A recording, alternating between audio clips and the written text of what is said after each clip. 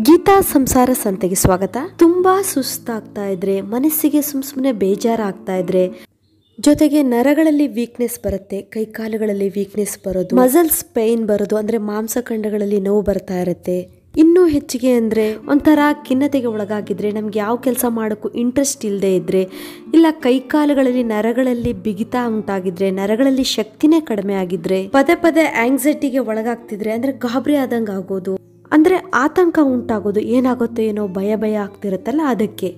ಮತ್ತು muscle cramp ಆಗ್ತಿದ್ರೆ, ಅಂದರೆ ಕುತ್ರೆ ನಿಂತಾಗೆಲ್ಲ ಮಸಲ್ಗಳು ಹಿಡ್ದಂಗೆ ಆಗ್ತಾ ಇರುತ್ತೆ. ಅದು ಎಷ್ಟು ಒಂದು ದಿವಸ ಎರಡು ದಿವಸ ಆದ್ರೂ ಅದು ಕಡಿಮೆ ಆಗ್ತಿರೋದಿಲ್ಲ. ಈ ರೀತಿಯೆಲ್ಲ ಆಗ್ತಾ ಇರುತ್ತೆ.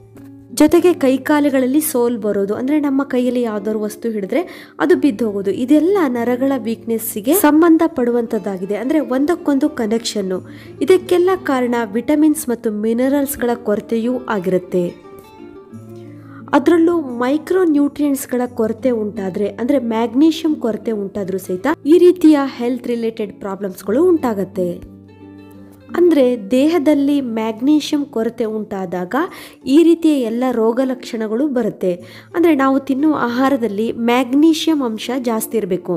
ಅಂದರೆ ಒಬ್ಬ ಮನುಷ್ಯನಿಗೆ ಅವನ ದೇಹದ ತೂಕ ಮತ್ತು ವಯಸ್ಸಿಗೆ ತಕ್ಕ ಹಾಗೆ ಮುನ್ನೂರರಿಂದ ನಾನ್ನೂರು ಮಿಲಿಗ್ರಾಮ್ ಅಷ್ಟು ಮ್ಯಾಗ್ನೀಷಿಯಂ ಒಂದು ದಿನಕ್ಕೆ ಬೇಕಾಗತ್ತೆ. ಈ ಮ್ಯಾಗ್ನೀಷಿಯಂ ಸೂಕ್ಷ್ಮ ಪೋಷಕಾಂಶವಾಗಿದ್ದು ಅದು ಖಿನ್ನತೆ ಮತ್ತು ಆತಂಕದ ಮೇಲೆ ನೇರ ಪರಿಣಾಮ ಬೀರುತ್ತೆ. ದೇಹದಲ್ಲಿನ ನರಗಳ ಮತ್ತು ಸ್ನಾಯುಗಳ ಸೆಳೆತ ಸಹಿತ ಕಡಿಮೆ ಆಗಲು ಮ್ಯಾಗ್ನೀಷಿಯಂ ತುಂಬಾ ಮುಖ್ಯವಾಗಿ ಬೇಕಾಗುತ್ತೆ. ಹೃದಯಕ್ಕೆ ಸಂಬಂಧಪಟ್ಟಂತೆ ಮೂಳೆಗಳು ಬಲಗೊಳ್ಳಲು ಮತ್ತು ಮೂತ್ರಪಿಂಡದ ಆರೋಗ್ಯಕ್ಕೂ ಸಹಿತ ಈ ಮ್ಯಾಗ್ನೀಷಿಯಂ ಮನುಷ್ಯನಿಗೆ ಅತ್ಯವಶ್ಯಕವಾಗಿ ಬೇಕಾಗತ್ತೆ. ಮ್ಯಾಗ್ನೀಷಿಯಂ ಹಣ್ಣುಗಳಲ್ಲಿ ಮತ್ತು ಸೊಪ್ಪುಗಳಲ್ಲೂ ಸಹಿತ ಇದೆ. ಆದರೆ ತುಂಬ ರಿಚ್ ಆಗಿ ನಿಮ್ಮ ದೇಹಕ್ಕೆ ಅವಶ್ಯಕವಾಗಿ ಈಸಿಯಾಗಿ ಫಾಸ್ಟಾಗಿ ಮ್ಯಾಗ್ನೀಷಿಯಂ ಕೊರತೆಯನ್ನು ನೀಗಿಸುವಂತಹ ಪದಾರ್ಥಗಳು ಅಂದರೆ ಈ ಸೀಡ್ಸ್ಗಳು, ಈ ಬೀಜಗಳಲ್ಲಿದೆ. ಅವು ಯಾವ್ಯಾವು ಅಂತ ತಿಳ್ಕೊಳ್ತಾ ಹೋಗೋಣ.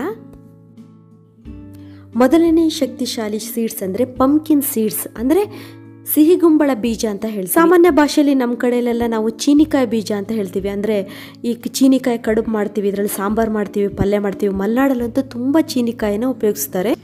ತುಂಬ ಜನ ಏನು ಮಾಡ್ತಾರೆ, ಈ ಬೀಜವನ್ನು ಬಿಸಾಕ್ತಾರೆ. ಅಂದರೆ ಈ ಬೀಜದ ಬಗ್ಗೆ ಅವರಿಗೆ ಮಾಹಿತಿ ಸರಿಯಾಗಿ ಗೊತ್ತಿರೋದಿಲ್ಲ. ಅದಕ್ಕೋಸ್ಕರ ನಮ್ಮ ಮನೆಗಳಲ್ಲಿ ಅನ್, ಅಂದರೆ ಗೊತ್ತಿರುವಂಥ ಜನ ಎಲ್ಲ ಏನು ಮಾಡ್ತಾರೆ, ಬೇಸಿಗೆಯಲ್ಲಿ ಆ ಚೀನಿಕಾಯಿ ಬೀಜನೆಲ್ಲ ಒಣಗಿಸ್ಬಿಟ್ಟು ಅದನ್ನು ಹಾಗೆ ಇಟ್ಕೊಂಡಿರ್ತಾರೆ. ಅದನ್ನು ಮಳೆಗಾಲದಲ್ಲಿ ಅದನ್ನು ಫ್ರೈ ಮಾಡಿಬಿಟ್ಟು ಚೀನಿಕಾಯಿ ಬೀಜ ಹಂಚಿನಲ್ಲಿ ನಾವು ಹುರಿತೀವಿ, ಉಪ್ಪು ಹಾಕ್ಬಿಟ್ಟು ಮತ್ತು ಖಾರದ ಪುಡಿ ಹಾಕಿ ಹುರಿದು ಅದನ್ನು ನಾವು ತಿಂತೀವಿ. ತುಂಬಾ ಟೇಸ್ಟಿಯಾಗಿರುತ್ತೆ ಅದು ಮಾತ್ರ ತುಂಬ ಜನ ಗೊತ್ತು, ಆದರೆ ಇದರಲ್ಲಿ ಹೆಲ್ತ್ ಬೆನಿಫಿಟ್ಸ್ ಇಷ್ಟೊಂದಿದೆ ಅನ್ನೋದು ತುಂಬ ಜನಕ್ಕೆ ಗೊತ್ತಿಲ್ಲ. ಆದರೆ ಇತ್ತೀಚೆಗೆ ಮಾರ್ಕೆಟಲ್ಲೂ ಸಹಿತ ಚೀನಿಕಾಯಿ ಬೀಜ ಪಂಪ್ಕಿನ್ ಸೀಡ್ಸ್ ಅಂತೇಳಿ ತುಂಬಾ ಫೇಮಸ್ಸು ಈಗ ಎಲ್ಲ ಅಂಗಡಿಗಳಲ್ಲೂ ನಿಮಗೆ ಇದು ಸಿಗುತ್ತೆ. ಇದರಲ್ಲಿ ರಿಚ್ ಆದಂಥ ನ್ಯೂಟ್ರಿಯೆಂಟ್ಸ್ ಇದೆ ಆ್ಯಂಟಿ ಆಕ್ಸಿಡೆಂಟ್ಸ್ಗಳಿದೆ ಜಿಂಕ್ ಇದೆ, ಸೆಲೇನಿಯಂ ಇದೆ, ಮ್ಯಾಗ್ನೀಷಿಯಂ ಅಂಶ ತುಂಬಾ ಇದೆ. ಆದ್ದರಿಂದ ಒಂದು ದಿನಕ್ಕೆ ಒಬ್ಬ ಮನುಷ್ಯ ಮೂವತ್ತು ಗ್ರಾಮ್ ಅಷ್ಟು, ಅಂದರೆ ಒಂದು ಕಾಲು ಲೋಟ, ಚಿಕ್ಕ ಲೋಟ ಬರುತ್ತಲ್ಲ, ಆ ಕಾಲು ಲೋಟದಷ್ಟು ಈ ಪಂಪ್ಕಿನ್ ಸೀಡ್ಸನ್ನು ಡೈಲಿ ತಗೊಳ್, ತೆಗೆದುಕೊಳ್ಳುವುದರಿಂದ ಮ್ಯಾಗ್ನೀಷಿಯಂ ಕೊರತೆಯನ್ನು ನೀಗಿಸ್ಬೋದು. ಇದರಿಂದ ಮಾನಸಿಕವಾಗಿ ಸ್ಟ್ರಾಂಗ್ ಆಗ್ತಾನೆ, ಮೆದುಳಿನ ಶಕ್ತಿ ಹೆಚ್ಚಿಸುತ್ತೆ ಮತ್ತು ಆತಂಕಗಳು ಡಿಪ್ರೆಷನ್ನಿಗೆ ಹೋಗುವುದು ಇದೆಲ್ಲ ಕಡಿಮೆ ಆಗ್ತಾ ಬರುತ್ತೆ. ಮತ್ತು ಮೂಳೆಗಳು ಸ್ಟ್ರಾಂಗ್ ಆಗುತ್ತೆ. ಅದರಲ್ಲೂ ಗರ್ಭಿಣಿ ಮಹಿಳೆಯರಿಗೆ ಈ ಪಂಪ್ಕಿನ್ ಸೀಡ್ಸ್ ತುಂಬಾ ಒಳ್ಳೆಯದು ಯಾಕಂದರೆ ಅವರಿಗೆ ಮ್ಯಾಗ್ನೀಷಿಯಂ ಕೊರತೆ ಉಂಟಾದರೆ ಮುಂದೆ ಬೆಳೆಯುವ ಮಕ್ಕಳಲ್ಲೂ ಆ ನ್ಯೂನತೆ ಕಂಡುಬರುತ್ತೆ ಅದಕ್ಕೋಸ್ಕರ ಈ ಚೀನಿಕಾಯಿ ಬೀಜ ತಿನ್ನುವುದರಿಂದ ಆರೋಗ್ಯವಂತ ಮಗುವಿಗೆ ಜನ್ಮವನ್ನು ಕೊಡಬಹುದು ಜೊತೆಗೆ ಹುಟ್ಟುವಂಥ ಮಕ್ಕಳು ತುಂಬ ಬುದ್ಧಿವಂತರಾಗಿ ಹುಡ್ತಾರೆ. ಇನ್ನು ರಿಚ್ ಆಗಿ ಮ್ಯಾಗ್ನೀಷಿಯಂ ಇರುವಂತಹ ಪದಾರ್ಥ ಇನ್ನೊಂದು ಕಾಳಂದರೆ ಚಿಯಾ ಸೀಡ್ಸ್ ಚಿಯಾ ಸೀಡ್ಸ್ ನಿಮಗೆ ಎಲ್ಲ ಮಾರ್ಕೆಟಲ್ಲೂ ಸಿಗುತ್ತೆ, ಎಲ್ಲ ಅಂಗಡಿಯಲ್ಲೂ ಸಿಗುತ್ತೆ. ಸಿಕ್ಕಿಲ್ಲ ಅಂದರೆ ಆನ್ಲೈನಲ್ಲಂತೂ ನಿಮಗೆ ಸಿಕ್ಕೇ ಸಿಗುತ್ತೆ. ಇದರಲ್ಲಿ ತುಂಬಾ ಮ್ಯಾಗ್ನೀಷಿಯಂ ಅಂಶ ಇದೆ. ಇದನ್ನು ಡೈಲಿ ನಾವು ಎಷ್ಟು ತೊಗೋಬೇಕು ಅಂದರೆ ಟ್ವೆಂಟಿ ಏಯ್ಟ್ ಗ್ರಾಮ್ಸ್ ಅಷ್ಟು ನಾವು ತೊಗೋಬೇಕು. ಅದಕ್ಕಿಂತ ಜಾಸ್ತಿ ತೊಗೋಬಾರ್ದು. ಅಂದರೆ ದಿನದಲ್ಲಿ ಒಂದೆರಡು ಸ್ಪೂನ್ ಬೇಕಾದರೆ ನಾವು ತೊಗೋಬೋದು.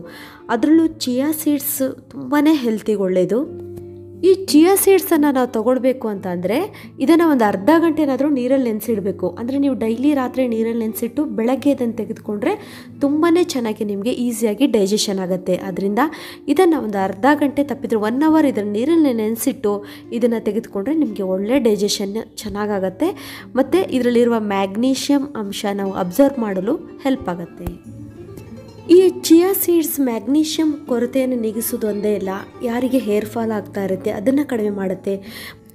ಮುಖದ ಸೌಂದರ್ಯಕ್ಕೆ ಮತ್ತು ಚರ್ಮದ ಆರೋಗ್ಯಕ್ಕೂ ತುಂಬಾ ಒಳ್ಳೆಯದು ಜೊತೆಗೆ ಚರ್ಮದ ಸುಕ್ಕನ್ನು ಕಡಿಮೆ ಮಾಡುತ್ತೆ ಮತ್ತು ಹೃದಯಪವನ್ನು ಮುಂದೂಡುತ್ತೆ ಮತ್ತು ಕ್ಯಾನ್ಸರ್ ಕಾಯಿಲೆ ಬರುವುದನ್ನು ತಡೆಗಟ್ಟುತ್ತೆ. ಮತ್ತೊಂದು ಮ್ಯಾಗ್ನೀಷಿಯಂ ರಿಚ್ ಆದಂಥ ಪದಾರ್ಥ ಅಂದರೆ ಗೋಡಂಬಿ. ಗೋಡಂಬಿಲಿ ತುಂಬಾ ಮ್ಯಾಗ್ನೀಷಿಯಂ ಅಂಶ ಇದೆ. ಇದು ತುಂಬಾ ಆರೋಗ್ಯಕ್ಕೆ ಒಳ್ಳೆಯದು ತುಂಬ ಜನ ಇದನ್ನು ಖರೀದಿ ಮಾಡೋದಕ್ಕೆ ಸಾಧ್ಯ ಆಗೋದಿಲ್ಲ. ಕಾರಣ ಇಷ್ಟೇ, ತುಂಬ ರೇಟು ಅಂತೇಳಿ ಬಟ್ ಯಾರಿಗೆ ಮ್ಯಾಗ್ನೀಷಿಯಂ ಕೊರತೆ ಜಾಸ್ತಿ ಆಗಿರುತ್ತೆ ಅಂಥವರು ಫಾಸ್ಟಾಗಿ ಮ್ಯಾಗ್ನೀಷಿಯಂ ಕೊರತೆ ನೀಗಿಸಬೇಕು ಅಂದರೆ ಗೋಡಂಬಿ ತಿಂದರೆ ತುಂಬ ಬೇಗ ಮ್ಯಾಗ್ನೀಷಿಯಂ ಕೊರತೆಯನ್ನು ಇವರು ಕಡಿಮೆ ಮಾಡ್ಕೋಬೋದು. ಗೋಡಂಬಿ ತಿನ್ನುವುದರಿಂದ ನರಗಳಿಗೆ, ಸ್ನಾಯುಗಳಿಗೆ ಶಕ್ತಿಯನ್ನು ಕೊಡುತ್ತೆ. ಮತ್ತು ಗೋಡಂಬೆ ತಿನ್ನುವುದರಿಂದ ಕೊಲೆಸ್ಟ್ರಾಲನ್ನು ಕಡಿಮೆ ಮಾಡುತ್ತೆ. ಅಂದರೆ ಬ್ಯಾಡ್ ಕೊಲೆಸ್ಟ್ರಾಲ್ನ ಕಡಿಮೆ ಮಾಡಿ ಗುಡ್ ಕೊಲೆಸ್ಟ್ರಾಲ್ ಉತ್ಪತ್ತಿಗೆ ಈ ಗೋಡಂಬೆ ತುಂಬಾ ಉಪಯೋಗ ಇದೆ. ಅದರಲ್ಲೂ ಹೃದಯಕ್ಕೆ ತುಂಬಾ ಒಳ್ಳೆಯದು ಅಂದರೆ ಹೃದಯ ಸಂಬಂಧಿ ಕಾಯಿಲೆಗಳು ಈ ಗೋಡಂಬಿ ತಿನ್ನೋದ್ರಿಂದ ಬರೋದಿಲ್ಲ.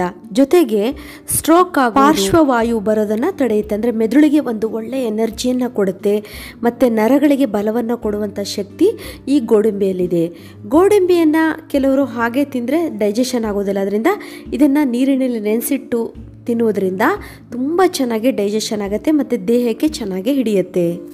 ನೋಡಿದ್ರಲ್ಲ ಫ್ರೆಂಡ್ಸ್ ದೇಹದಲ್ಲಿ ಮೈಕ್ರೋ ನ್ಯೂಟ್ರಿಯೆಂಟ್ಸ್ಗಳ ಅಂದರೆ ಸೂಕ್ಷ್ಮ ಪೋಷಕಾಂಶಗಳ ಕೊರತೆ ಇದ್ದರೂ ಸಹಿತ ನಮಗೆ ಎಷ್ಟೊಂದು ಪ್ರಾಬ್ಲಮ್ ಆಗುತ್ತೆ ಅಂಥೇಳಿ ನಾವೆಲ್ಲದಕ್ಕೂ ಟ್ಯಾಬ್ಲೆಟ್ಸ್ ತೊಗೊಂಡ್ರೆ ಅದಕ್ಕೆ ನಮಗೆ ಸೈಡ್ ಎಫೆಕ್ಟ್ ಜಾಸ್ತಿ ಆಗುತ್ತೆ ವಿನ? ಆದಷ್ಟು ನಾವು ಯಾವ ಯಾವ ಪದಾರ್ಥಗಳಲ್ಲಿ ಯಾವ ಯಾವ ನ್ಯೂಟ್ರಿಯೆಂಟ್ಸ್ಗಳು ಮಿನರಲ್ಸ್ಗಳು ಹೆಚ್ಚಿಗೆ ಇದೆ, ಮತ್ತು ನಮಗೆ ಯಾವುದರ ಕೊರತೆ ಉಂಟಾಗಿದೆ ಅನ್ನೋದನ್ನು ತಿಳಿದುಕೊಂಡು ಆಹಾರ ಪದಾರ್ಥಗಳನ್ನ ಬಳಸಿಕೊಳ್ಳುವುದರಿಂದ ನಮ್ಮ ದೇಹದ ಆರೋಗ್ಯವನ್ನು ಸಂಪೂರ್ಣವಾಗಿ ನಾವು ಕಾಯ್ದುಕೊಳ್ಬೋದು.